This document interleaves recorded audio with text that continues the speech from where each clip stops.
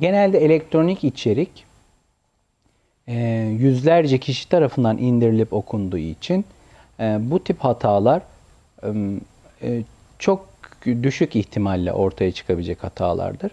Çıktığı zaman da zaten ilk kullanıcı ile ilk karşılaştığında hemen düzeltilen hatalardır.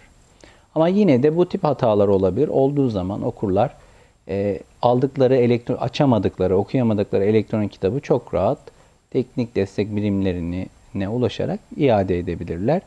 Ya paralarını geri alırlar veyahut o kitabın düzeltilmiş halini geri alabilirler. E-kitapta telif sorunlu. Bize anlatabilir misin?